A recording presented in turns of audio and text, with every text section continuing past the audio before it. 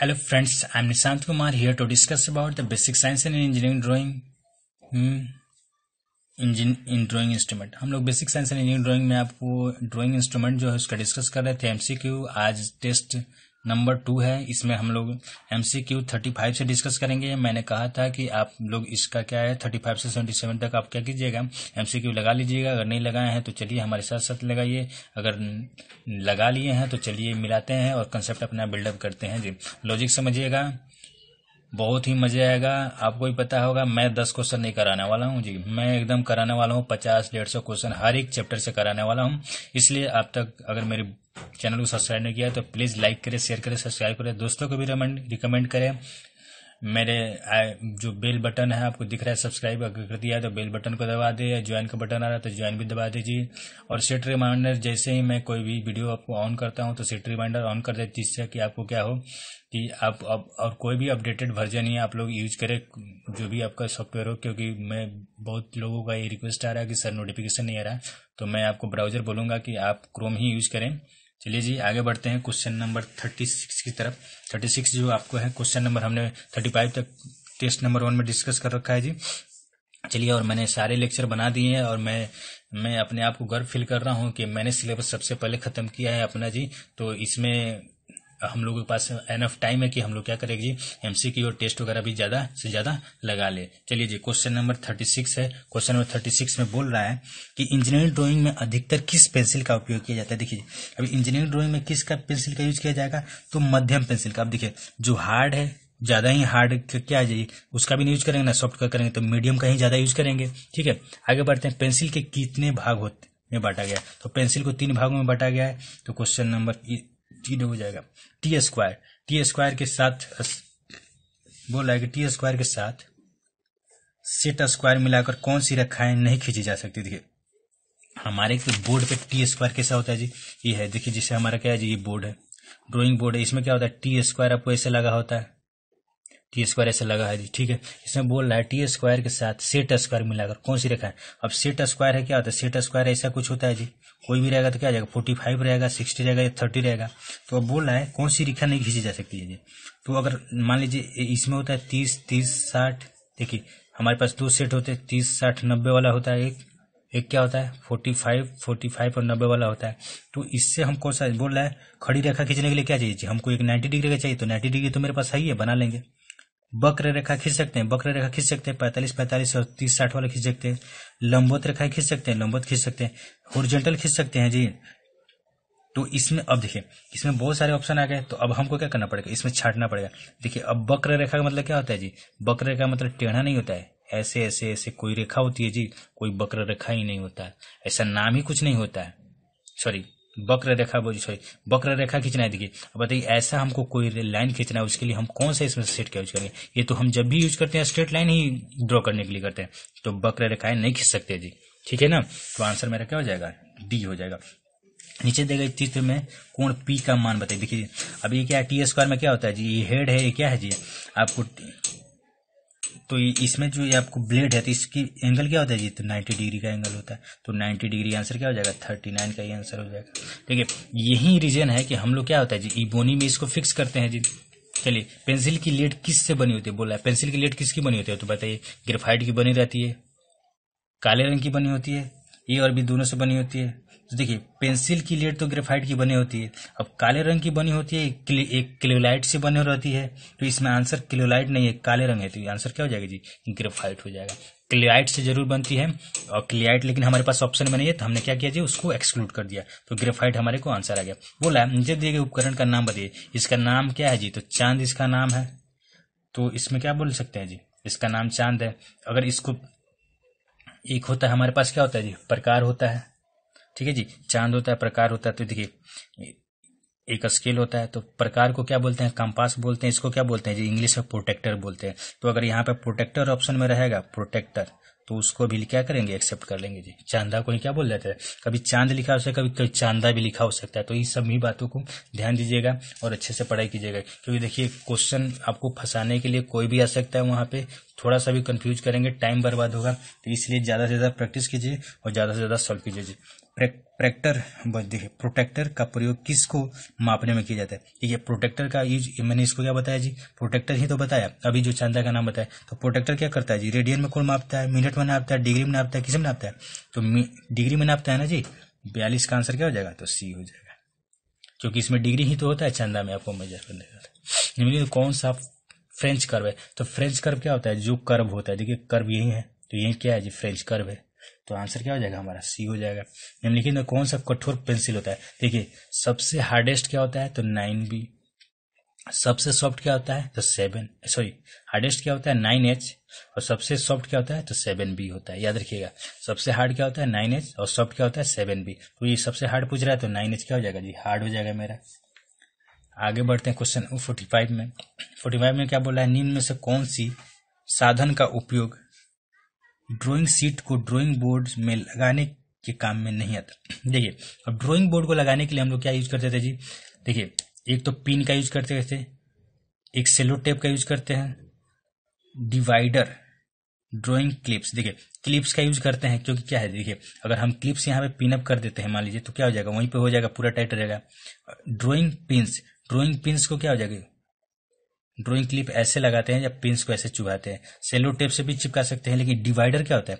Divider से थोड़े नहीं, उसको करते हैं जी, उसको सीट, उसको ड्राइंग बोर्ड से लगाने में काम नहीं किया जाता है। डिवाइडर को क्या किया जाता है जी? तो डिवाइडर से हम डिस्टेंस मेजर करते हैं, या डिस्टेंस को क्या करते हैं? शिफ्ट करते हैं तो डिवाइडर हमारा ऑप्शन हो जाएगा, क्योंकि ये काम नहीं करता है जिसको ठीक है कहने का मतलब ये सब क्या करता है? हमारे ड्राइंग सीट को क्या होता है? ड्राइंग बोर्ड पे चिपकाने में हेल्प करता है जी, उसको फिक्स करने में हेल्प करता है। आगे बढ़ते हैं। बोल रहा है पेंसिल जितना कठोर होता है उतना है। देखिए, पेंसिल जितना कठोर होगा, उतना हल्का लिखेगा। देखिए, क्वेश्चन यहाँ समझिएगा किसी बहुत सारे लड़कों को डाउट होता है। एच का मतलब हार्ड होता है और बी का मतलब क्या होता है? ब्लैक होता है। तो हार्ड ज़्यादा है, इसका मतलब क्या है जी? हल्का है। क्या है जी? हल्का है। डार्क नहीं है। क्या है जी? येलो है। एल है। देखिए ब्लैक है। ब्लैक का मतलब क्या है जी? तो काला तो है, लेकिन क्या है जी? गाढ़ा भी है, गाढ़ा भी है, ठीक है ना? तो यहीं से पता चला ब्लैक का मतलब गाढ़ा है जी हार्ड का मतलब हल्का है, ठीक है ना जी? तो यहाँ से देखिए पेंसिल जितना कठोर होता है, उतना ही लिखता है। तो जितना कठोर होगा तो क्या लिखेगा? हल्का लिखेगा तो हल्का हो जाएगा जी। तो छियालीस का आंसर क्या हो जाएगा? बी हो जाएगा। सैतालीस में बढ़ते हैं जी। चित्र में पैंतालीस डिग्री के सेट स्क्वायर में बने कोण एक्स का मान कितना होगा? देखिए जी पैंतालीस पैंतालीस का सेट स्क्वायर है जी। तो पैंतालीस पैंतालीस ये है। अब बताइए एक्स यहाँ पे मान है तो ये पैंतालीस डिग्री का है तो ये क्या हो जाएगा? एक सौ पैंतीस डिग्री का। तो आंसर क्या हो जाएगा मेरे पास? डी हो जाएगा। तो क्वेश्चन नंबर सैंतालीस का क्या हो जाएगा? आंसर डी हो जाएगा। एक सौ पैंतीस डिग्री हो जाएगा जी। ये पैंतालीस डिग्री तो एक सौ पैंतीस डिग्री, क्योंकि ये क्या है? ये स्ट्रेट लाइन पे एक सौ अस्सी डिग्री का बनता है। तो देखिए, मैथ के छोटे छोटे कंसेप्ट भी यूज़ हो रहे हैं। तो इससे आप घबराइए नहीं। बहुत इंजीनियरिंग ड्रोइंग तो मुझे लगता है कि बाकी आप जो भी पढ़ रहे हैं, उन सबसे आसान है। रीजनिंग से भी मैथ से भी।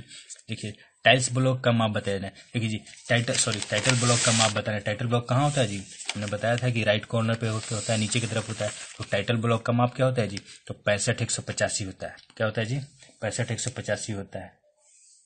तो आंसर मेरा क्या हो जाएगा? डी हो जाएगा। चलिए। याद रखिएगा, पैंसठ एक सौ पचासी। याद कर रखिएगा, देखिए, इसमें भी पाँच है, इसमें भी पाँच है, दोनों याद रखिएगा। ज़्यादातर कंफ्यूजन नहीं होता है कि अस्सी, एक सौ एक सौ अस्सी, एक सौ साठ वाला देता है तो पाँच पाँच दोनों में यही याद रखिएगा तो इससे काम चले जाएगा। मिनी ड्राफ्टर का स्केल का कोण कितने डिग्री होता है? देखिए मिनी ड्राफ्टर में दो स्केल होते हैं, दोनों के बीच का एंगल क्या होता है? तो नाइन्टी डिग्री होगा मिनी ड्राफ्टर का केवल फ़ोटो देख लीजिएगा, उसमें आप दोनों स्केल रहेगा, हमेशा नाइन्टी डिग्री पर रहेगा। उसका एंगल क्या होता है जी? चेंज नहीं होता। है नीचे दिए गए चित्र में तीस डिग्री, साठ डिग्री का सेट स्क्वायर का कोण, जेड का मान बता रहे थे ये बोल रहा है कि तीस साठ का इसका मतलब क्या है जी? एक नब्बे हो जाएगा, एक साठ हो जाएगा तीस हो जाएगा। अब बोल रहा है कि जो तीस वाला में यहाँ पे एंगल क्या होगा? तो ये जब तीस है तो ये क्या हो जाएगा जी? दोनों मिलकर एक सौ अस्सी होता है। क्या एक सौ पचास रहेगा तीस रहेगा तो एक सौ पचास आंसर हो जाएगा। तो पचास का क्या हो जाएगा? बी आंसर हो गया। देखिए, कितना सिंपल है। समझने की बस ज़रूरत है। इसको समझिए और क्या कीजिए सबसे ज़्यादा फ़ायदा उठाइएगा। चलिए, क्वेश्चन नंबर आगे बढ़ते हैं। ड्रॉइंग सीट इतना के बाद कौन सा साइज़ होता है देखिए, इसके बाद क्या करेंगे जी? इसको हाफ़ कर देंगे तो क्या आ जाएगा? चार सौ बीस हो जाएगा और पाँच सौ चौरानवे। तो ढूंढ लेते हैं, चार सौ बीस इसमें है, चार सौ बीस में पाँच सौ चौरानवे, ये तो आंसर क्या हो जाएगा? बी हो जाएगा। तो अकाउंट का क्या हो जाएगा आंसर बी हो जाएगा। कितना आसान है। देखिए, वहीं कंसेप्चुअली पढ़िएगा, कोई दिक्कत नहीं होगी।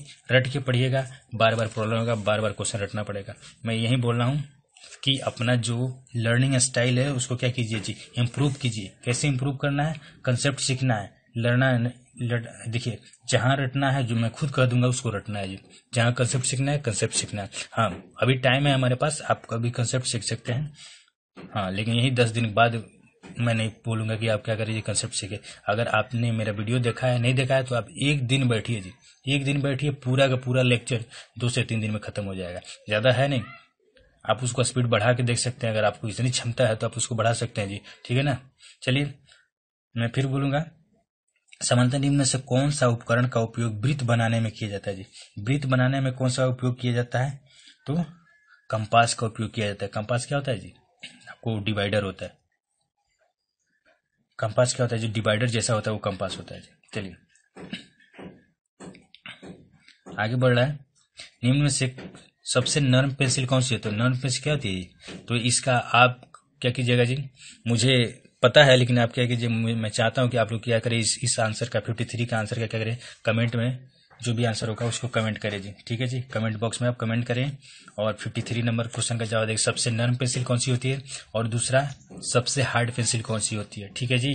सबसे हार्ड पेंसिल कौन सी होती है? ये भी कमेंट कीजिएगा। ये दोनों आपको कमेंट बॉक्स के लिए मैं दे रहा हूँ। चलिए, अगला क्वेश्चन बढ़ते हैं जी। फिफ्टी फोर दो सेट स्क्वायर की मदद से कौन मदद से कोण बनाई गई है। बोला है, दो सेट स्क्वायर है जी, यहाँ पे दिखा रखा है। इसकी मदद से क्या है जी, कोण बनाया गया है। तो अब पूछा जा रहा है कि तब पी का मान बताया जी। ठीक है जी, हम ये जानते हैं कि ये जो बराबर साइड है, इसका मतलब क्या है पैंतालीस पैंतालीस वाला है। ठीक है जी देखिए, ये क्या है जी, ये ये तीस साठ वाला है। तो अब देखिए, तीस कौन सा है, साठ कौन सा देखिए, इसका साइड बड़ा है तो ये साठ वाला होगा, ये साइड छोटा है तो तीस वाला होगा। देखिए, इतना डेप्थ में है क्वेश्चन क्वेश्चन समझिए। देखिए जी, ये दोनों साइड बराबर है तो हमको दिख रहा है कि फोर्टी फाइव फोर्टी फाइव वाला है। देखिए, ये वाला है कि हमको तीस साठ वाला कंफर्म है तो तीस साठ वाला में से देखिए इस साइज़ छोटा है तो ये तीस होगा इस साइड बड़ा है तो इसका सामने वाला कौन क्या होगा, साठ होगा। तो ये तीस है पैंतालीस कितना हो गया जी? तीस, पैंतालीस, पचहत्तर डिग्री। पचहत्तर डिग्री टोटल हो गया, इधर कितना होना चाहिए? तो एक सौ पाँच डिग्री होना चाहिए तो आंसर क्या हो जाएगा? चुमन का ये। देखिए, कितना अच्छा क्वेश्चन है, बहुत ही अच्छा क्वेश्चन है। मैं बता रहा हूँ कि आप जाके पूछ लीजिए, बहुत सारे टीचर से क्वेश्चन नहीं बता पाएँगे लोग। बहुत सारे कंफ्यूज करेंगे। तो ये हमारा बेस्ट क्वेश्चन है स्टार क्वेश्चन इस स्टार क्वेश्चन का भी मैं चाहूँगा कि आप लोग थोड़ा सा इसको अपने से बना के कमेंट में पास कीजिए। मैं समझा दिया, ठीक है? लेकिन आप इसको बनाइएगा, फिर से उसको कमेंट में अगर आप मानते हैं, इसको सही जवाब देते हैं तो मैं मानूँगा कि आपसे सही में एक क्वेश्चन बन गया है जी। ठीक है? कमेंट ज़रूर दीजिएगा इसका क्वेश्चन नंबर फिफ्टी फोर ये बहुत अच्छा क्वेश्चन है लॉजिकल क्वेश्चन भी है। चलिए फिफ्टी फाइव क्वेश्चन में आते हैं। बोल है four H five H nine H pencil होती है। देखिए, मैंने बोला था नाइन एच एट एच से कहाँ तक जाएँगे? सिक्स पेंसिल तक जाएँगे तो क्या मिलेगा जी? हार्ड पेंसिल मिलेगा। तो कौन सा है? कठोर पेंसिल में आ जाएगा। क्या आ जाएगा? कठोर पेंसिल पेंसिल में एच का मतलब क्या होता है जी? एच का मतलब हार्ड होता है बी का मतलब क्या होता है? कमेंट बॉक्स में लिख के बताइएगा जी। एच का मतलब हार्ड होता है, मैंने बता दिया। बी का बी का मतलब क्या होता है? मैंने अभी बताया जी, इसलिए मैं नहीं बता रहा हूँ। आप एच बी का मतलब क्या होता है, आप ज़रूर बताइएगा। कमेंट में इसको ज़रूर लिखिएगा जी। चलिए, अगला क्वेश्चन है, निम्न में से किस भाग का टी स्क्वायर का संबंध नहीं है? बोल रहा है टी स्क्वायर से किससे संबंध नहीं है? तो कार्यकारी एज पे होता है ब्लेड से हैंड से इबोनी से। देखिए, कार्यकारी एज पे ही तो टी स्क्वायर रखा जाता है। और टी स्क्वायर में ब्लेड होता है हैंड होता है हेड होता है सॉरी ये हेड है। ठीक है ना जी? एबोनी एबोनी क्या है जी? एबोनी क्या है जी? एबोनी जो है, आपको क्या होती है जी? ये बोनी जो होता है, वो हमारे जो सपोर्ट के लिए होता है, उसको यूज़ करते हैं, ठीक है ना? तो ये हमारा क्या हो जाएगा? इससे संबंध नहीं है। तो संतावन का हमारा क्या हो जाएगा? आंसर डी हो जाएगा जी। आठ में आते हैं। टी स्क्वायर के ब्लेड की लंबाई कितनी होती है? बोल दिया टी स्क्वायर की ब्लेड की लंबाई क्या होती है? देखिए टी स्क्वायर की जो ब्लेड है, देखिए, यहाँ पे क्या है? टी स्क्वायर एक एज पे रहेगा ये ऐसे रहेगा बोर्ड पे। तो जो बोर्ड की लंबाई होगी, इसकी ब्लेड की लंबाई भी उतनी होगी ना? वही बोल रहा है कि टी स्क्वायर की ब्लेड की लंबाई कितनी होगी तो ड्रॉइंग बोर्ड के बराबर होनी चाहिए। तो अंठावन का ए हो जाएगा। उनसठ में आते हैं। निम्न में से कौन सा कोण सेट स्क्वायर के द्वारा नहीं बनाया जा सकता है? बोल रहा है, निम्न में से कौन सा कोण सेट स्क्वायर द्वारा नहीं बनाया जा सकता है? अब सेट स्क्वायर में मैंने पढ़ा भी, क्या पढ़ा था जी? Forty five forty five set square से देखिए, पंद्रह का जो भी मल्टीपल में रहेगा एंगल वो क्या होगा जी? सेट स्क्वायर के द्वारा बनाया जा सकता है। सेट स्क्वायर के द्वारा क्या जी? बनाया जा सकता है। पंद्रह के मल्टीपल में देखिए। अब आती है बात। देखिए। हमारे पास क्या है जी? ये पैतालीस है। ये पैतालीस ये नब्बे है, मान लीजिए। ये साठ है, ये नब्बे है, ये क्या है? तीस डिग्री है। ठीक है जी? अब देखिए, हमको बनाना है सेट स्क्वायर की हेल्प से। देखिए। क्या हम तीस डिग्री का बना सकते हैं जी? तीस डिग्री का बना सकते हैं। देखिए ऑप्शन भी देखना पड़ेगा साथ में ना। थोड़ा सा समझ लीजिएगा। थोड़ा कोऑपरेट कीजिए। देखिए, तीस डिग्री बना सकते हैं जी। साठ डिग्री बना सकते हैं। साठ डिग्री बना सकते हैं, तीस डिग्री बना सकते हैं। अब क्या जी? नब्बे डिग्री बना सकते हैं। नब्बे डिग्री का है, बना सकते हैं। बोल रहा है, पंद्रह डिग्री का बना सकते हैं जी तो नहीं बना सकते देखिए, हम यहाँ से पैंतालीस डिग्री पैंतालीस डिग्री, नब्बे डिग्री, तीस डिग्री, साठ डिग्री, नब्बे डिग्री बना सकते हैं। तो पंद्रह डिग्री का हम नहीं बना सकते आंसर क्या हो जाएगा मेरा? ये लेकिन अगर क्वेश्चन पूछता है कि हम सेट स्क्वायर द्वारा कौन कौन से कोण बना सकते हैं तो उसमें पंद्रह का जो भी गुणज रहेगा, उसको बना लेंगे। यानी तीस, पैंतालीस, साठ, नब्बे, ठीक है ना? इस तरह हम बना सकते हैं, लेकिन पंद्रह का नहीं बनाएँगे, ठीक है ना? इस क्वेश्चन को याद रखिएगा, ये बहुत ही इंपॉर्टेंट क्वेश्चन है स्टार क्वेश्चन है जिसको। ठीक है? आगे बढ़ते हैं क्वेश्चन नंबर साठ में। साठ नंबर क्वेश्चन देखिए, बोल रहा है चांदा। चांदा यानी प्रोटेक्टर होता है जी। तो प्रोटेक्टर किस भाग का होता है? किस आकार का होता है? देखिए, चांदा का होगा आपने देखा होगा तो ज़्यादातर कैसे देखा है? जी हाफ़ सर्कल में देखा है। फुल सर्कल में भी चांदा होता है। तो इसलिए मैं एक बार आपको थोड़ा सा एक बार एक बार इमेज देख लीजिए। देखिए, यहाँ पे आपको बनाया गया है इमेज देख सकते हैं यहाँ पे क्या है जी? हाफ़ भी है, अर्धवृत्ताकार भी है। क्या है जी? फुल वृत्ताकार भी है। तो यहाँ से हम समझ सकते हैं कि चांदा क्या है जी हमारे पास? दोनों तरह के है। कौन सा है जी? तो अर्धवृत्ताकार भी है और क्या है जी? फुल वृत्ताकार भी है। तो हम बोल सकते हैं ना कि ए और बी दोनों होता है। चाँद कैसा होता है जी? तो वृत्ताकार भी होता है, अर्धवृत्ताकार भी होता है। चलिए तो आंसर क्या हो जाएगा मेरा? साठ का आंसर दोनों हो जाएगा। ठीक है जी? डी आंसर हो जाएगा। इकसठ का। H two H three H pencil होता है जी। देखिए, बात की जाए H two H three H pencil होता है जी। तो एच में हमने स्टार्ट किया था नाइन एच से लेकर फोर एच तक, क्या हो जाएगा? छ हो गया। उसके बाद छ जो के बाद आ गया तो क्या हो जाएगा? मीडियम में आ गया ना जी। अब मीडियम पेंसिल में आया तो बोला कठोर पेंसिल मध्यम पेंसिल तो कौन सा है जी? मीडियम पेंसिल है। तो एक्सट का आंसर क्या हो जाएगा जी? बी हो जाएगा। ठीक है? आगे बढ़, निम्न से कौन सा पैमाना छोटी वस्तु की बड़ा करने में प्रयोग किया जाता है। देखिए, अब छोटी वस्तु को बड़ा करने में पैमाना करना है तो क्या करना पड़ेगा जी? विस्तारक पैमाना यूज़ करना पड़ेगा ना जी? क्योंकि छोटा से क्या करना है? बड़ा करना है जी। बोला है कौन सी, कौन सा पैमाना छोटी वस्तु को बड़ा करने में प्रयोग किया जाता है? देखिए, छोटी वस्तु है तो बहुत छोटा साइज़ होगा तो उसको हम इमेज जो है बड़ा बनाएँगे। इमेज क्या करना पड़ेगा जी? बड़ा बनाना पड़ेगा। ठीक है ना? तो इसके लिए हमको क्या करना पड़ेगा विस्तारक पैमाना यूज़ करना पड़ेगा। विस्तारक। ठीक है ना जी? क्वेश्चन नंबर सिक्सटी थ्री विस्तारक पैमाने का निरूपक भिन्न कहाँ होता है? देखिए, अब जब बड़ा करना है, जब विस्तारक पैमाने यूज़ बड़ा करना है, इसका मतलब क्या है जी? एक से बड़ा होना चाहिए। तो यहाँ पे देखिए क्वेश्चन में एक्चुअली थोड़ा सा अधूरापन है, लेकिन यहाँ पे लिखना चाहिए X greater than equal to क्या है जी? वन है। ठीक है ना? यहाँ पे लिखना चाहिए एक्स ग्रेटर देन वन तब जाके ये आंसर हम क्या देते एक्स इज़ टू वन देते ठीक है ना? विस्तारक पैमाना कब होता है जी?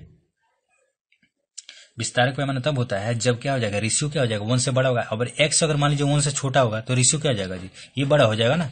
तो वही है, इस क्वेश्चन में थोड़ा सा अधूरापन है। इस क्वेश्चन में ऐसे लिखना चाहिए, X greater than equal to one. ठीक है ना? तब जाकर सॉल्व होगा। नहीं तो ये माना जाएगा, एक्स क्या है जी?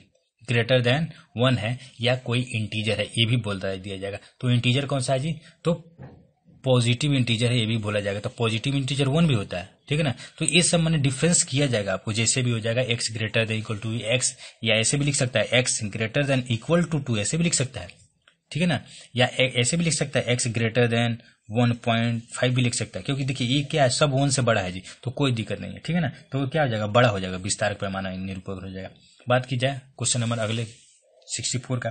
बोला है बड़ी मशीनों की ड्राइंग किस पैमाने से बनाई जाती है? देखिए, बड़ी मशीनों की ड्राइंग बनानी है। अब देखिए, अब बड़ी मशीनों की जब ड्राइंग बनाएँगे तो इसका मतलब क्या है जी? उसको छोटा करके बनाएँगे तो उसको क्या करेंगे? छोटा करेंगे तो लघु गुणक पैमाना हो जाएगा। ठीक है जी लघु गुणक हो जाएगा।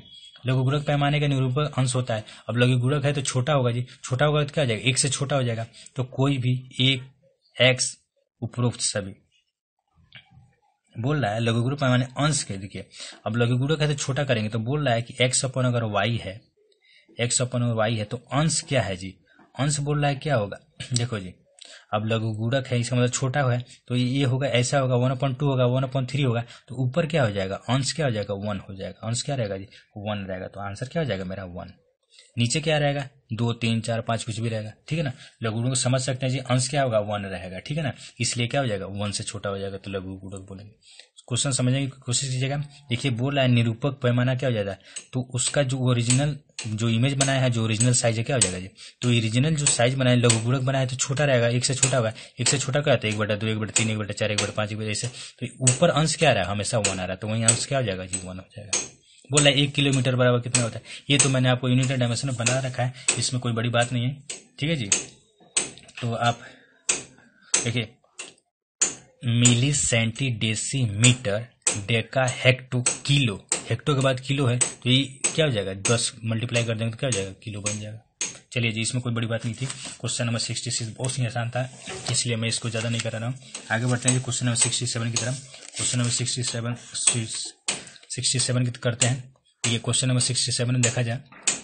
बोल रहा है अनुपातिक, अनुपात किस प्रकार के पैमाने का उदाहरण है देखिए, अभी बोलिए इसमें भी क्या है जी? एक्स ग्रेटर देन वन लिया गया, ठीक है ना? तो अब कौन सा पैमाना हो जाएगा? जब नीचे वाला छोटा जो है, जो आप नीचे क्या हो जाएगा जी? छोटा हो जाएगा तो क्या हो जाएगा? आपको एक मिनट, थोड़ा पानी पी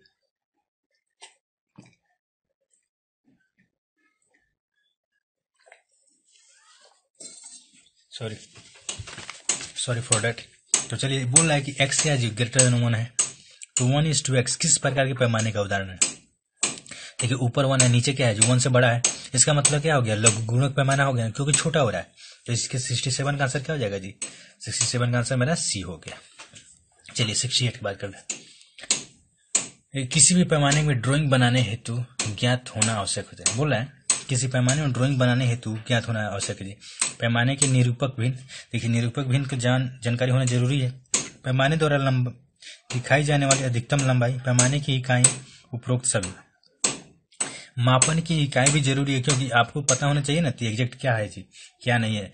तो बोल रहा पैमाने की दिखाई जाने वाली अधिकतम लंबाई। देखिए, अब यहाँ पे निरूपक भिन्न से पता चल जाएगा, लेकिन अधिकतम कुछ लंबाई तो पता चलना चाहिए ना एग्जैक्ट क्या है जी। तो एग्जैक्ट बताने के लिए अधिकतम लंबाई रहेगा तो हम क्या करेंगे? सब कुछ निकालेंगे तो उपरोक्त सबकी जानकारी होनी चाहिए जी। सिक्सटी नाइन किसी पैमाने का निरूपक भिन्न इतना है तो पैमाना क्या है जी? जब एक से बड़ा है तो क्या है? लघु गुणक है। क्या है जी? विस्तारक है सॉरी विस्तारक मतलब क्या हो जाएगा? बड़ा हो जाएगा जी, ठीक है ना? सिक्सटी नाइन क्या हो जाएगा? विस्तारक है, क्योंकि एक से बड़ा है तो बड़ा करके बना रहे तो विस्तारक हो गया। जी, सत्तर का क्या है? निम्नलिखित में कौन सा पैमाना बड़ी वस्तुओं को छोटा करने के लिए लघु गुणों का यूज़ किया जाएगा? क्योंकि छोटा करना है तो क्या किया जाएगा? लघु गुणों का यूज़ किया जाएगा। सत्तर का क्या हो जाएगा? सी हो जाएगा।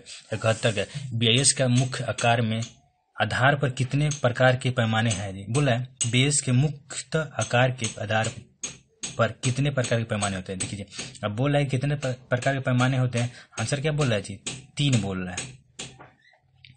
मुक्त आधार पे कितने प्रकार के पैमाने हैं जी? देखिए एम एम होता है जी बी आई एस के आधार पे सेवेंटी वन का पी एक्चुअली मुझे भी कंफ्यूजन था तो मैं यहाँ पे थोड़ा सा थ्योरी देखने लगा। देखिए, यहाँ पे है कि बी आई एस के, देखिए, आधार पे क्या है जी? एक पूर्ण आकार का पैमाना है J one is to one रहेगा। एक लघु कूड़क पैमाना है, एक विस्तारक पैमाना। तो कितने तरह के पैमाने हो गए? तीन तरह के पैमाने हो गए, ठीक है ना? तो यहाँ से हम बोल सकते हैं कि जो हमारा बीआईएस के द्वारा जो है, मुक्त आकार के आधार पर कितने तरह के पैमाने हैं? तो तीन प्रकार के पैमाने हैं जी, ठीक है ना? तो हमारा आंसर क्या हो जाएगा? कहत्तर का बी हो जाएगा। देखिए एक्चुअली कभी कभी मुझे डाउट रहता है तो मैं अपना खुद देख लिया, कोई दिक्कत नहीं, लेकिन आपको गलत नहीं बताना चाहिए जी, ठीक है ना? आगे बढ़ते हैं। क्वेश्चन नंबर सेवेंटी टू की बात करते हैं। क्वेश्चन नंबर क्या जी? सेवेंटी टू देखिए, यहाँ बोला जब बना हुआ ड्राइंग साइज़ जब बना हुआ ड्राइंग साइज़ वस्तु के आकार के बराबर हो तो बराबर है तो इसका मतलब क्या है जी? किसका है जी? तो पूर्ण आकार का हो गया ना तो नाम से ही पता चला। देखिए, इन सब क्वेश्चन में तो ऐसे भी आपको पता चल रहा है कि नाम से क्या बहुत सारा क्वेश्चन का जवाब देख सकते हैं। बोला है घड़ी के पुर्जे में ड्राइंग बनाने के लिए हेतु ये घड़ी के पुर्जे क्या होता है? छोटे छोटे होते हैं तो उसको बड़ा करके देखना पड़ेगा तो क्या करना पड़ेगा जी? तो विस्तारक पैमाना यूज़ करना पड़ेगा तो सेवेंटी थ्री का क्या हो जाएगा जी? आपको बी आंसर हो जाएगा। निरूपक, देखिए, कोई भी छोटी चीज़ को क्या करेगा, बड़ा करके बनाएँगे और बड़े चीज़ को छोटा करके बनाएँगे। ठीक है ना जी? तो इतना कंसेप्ट समझिए तो बाकी सब क्वेश्चन जवाब देख सकते हैं। बोल है निरूपक भिन्न का मान क्या है जी? मैं ट्वेंटी सेंटीमीटर की दूरी को इतने मीटर को प्रदर्शित करके, करती है। देखिए जी, बीस सेंटीमीटर को इतना मीटर करके दिखाया, यानी ये बड़ा करके दिखाया तो बड़ा करके दिखाया तो क्या आ जाएगा जी? आर एफ़ फैक्टर चाहिए जी। तो इसका मतलब क्या है जी? एक से बड़ा होगा, एक से बड़ा होगा तो क्या करेंगे जी? एक हज़ार मीटर है तो इसको सेंटीमीटर बदलेंगे तो क्या आएगा? सौ सेंटीमीटर होगा। तो ये सेंटीमीटर हो गया। बट्टा बीस सेंटीमीटर तो ये क्या हो जाएगा? पाँच। तो क्या हो जाएगा? पाँच हज़ार। निरूपक भिन्न में 20 सेंटीमीटर की दूरी को इतना मीटर को प्रदर्शित करती है अच्छा। इतने मीटर के लिए क्या करते हैं? इतने मीटर करते हैं। तो क्या जाएगा? लेस देन वन होगा जी, ठीक है ना? देखिए, इतने मीटर को क्या कर रहा है? छोटा करके दिखाया जा रहा है। क्वेश्चन पढ़िए। निरूपक भिन्न में बीस सेंटीमीटर की दूरी को इतना मीटर को प्रदर्शित करता है। तो छोटा करके दिखाया गया। बोला, इतने दूरी को क्या करे इतने सेंटीमीटर के द्वारा लाइन से बनाया गया। तो क्या है? वन से छोटा है। तो ये क्या है?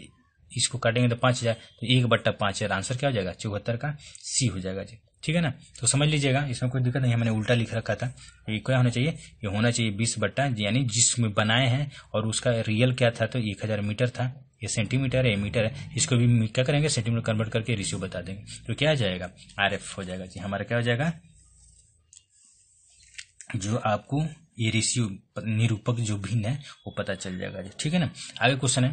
ट्वेंटी फाइव निम्न से निरूपक भिन्न क्या नहीं होता है? देखिए, अब निरूपक भिन्न का क्या नहीं होता? इकाई, लंबाई, चौड़ाई। देखिए देखिए, निरूपक भिन्न में क्या है जी? ऊपर भी लंबाई है, नीचे भी लंबाई तो लंबाई लंबाई तो ऊपर भी सेंटीमीटर नीचे भी सेंटीमीटर कट जाएगा ना? तो उसका इकाई नहीं होगा। तो बोल रहा है, क्या नहीं होता? तो इकाई नहीं होता जी। पचहत्तर का क्या है? इकाई नहीं होगा जी। क्वेश्चन नंबर आते हैं सेवेंटी सिक्स देख लिए सेवेंटी सिक्स में क्या है जी? पूर्ण आकार पैमाने का आर एफ़ होता है जी। पूर्ण आकार का मतलब क्या है? सेम आकार का बनाना है तो वन इस्ट वन हो जाएगा। क्या हो जाएगा? वन इस्ट वन हो जाएगा। सेवेंटी सिक्स का डी सेवेंटी सेवन पैमाने के निरूपक भिन्न निम्न में से किस सूत्र के द्वारा ज्ञात किया जाता है? बोला है, पैमाने में निरूपक भिन्न कैसे किया जाता है? तो पैमाने में देखिए, पैमाने में जो पहले जो हम इमेज बनाए हैं, पहले जो हम वस्तु बनाए हैं, वो, या जो इमेज बनाए हैं वो तो पहले जो इमेज बना है वो तो अब देखते हैं जी, पैमाने में न्यूनतम न्यूनतम अधिकतम दूरी से तो कोई मतलब ही नहीं है। बोला है अवय की अधिकतम लंबाई, पैमाने की अधिकतम लंबाई ड्राइंग में वस्तु का प्रदर्शित माप और वस्तु की वास्तविक लंबाई तो क्या हो जाएगा जी? हमारा सतहत्तर का सी हो जाएगा। क्योंकि देखिए ड्राइंग में बोर्ड में वस्तु के जो साइज़ है और रियल में जो उसका साइज़ है, उन दोनों का रेशियो क्या बताएगा जी? हमको निरूपक भिन्न बताएगा। तो यहाँ तक हमारा क्वेश्चन क्लियर होता है जी। अब चलिए, अगर आपने मेरे चैनल को सब्सक्राइब नहीं किया तो प्लीज़ लाइक करें शेयर करें और सब्सक्राइब करें और दोस्तों को भी रिकमेंड करें जी। अगर आपने सब्सक्राइब बटन दबा दिया है तो वहाँ पर बेल आइकन है, जिससे आप दबा सकते हैं, जिससे आपको नोटिफिकेशन मिलने लगेगा। और आप अगर ज्वाइन का बटन आ रहा है तो उसको भी क्लिक करें। अगर मैं जब भी वीडियो आपको सेट रिमाइंडर पर प्रीमियम करता हूँ तो आप उसको सेट रिमाइंडर ऑन कर दीजिए, जिससे क्या होगा, आपको नोटिफिकेशन मिल जाएगा जब भी वीडियो स्टार्ट होगा। ठीक है? तो चलिए, और ज़्यादा से ज़्यादा लाइक कीजिए सब्सक्राइब कीजिए और कमेंट कीजिएगा जी, जो भी क्वेश्चन मैंने पूछे हैं। तो thank you thank you so much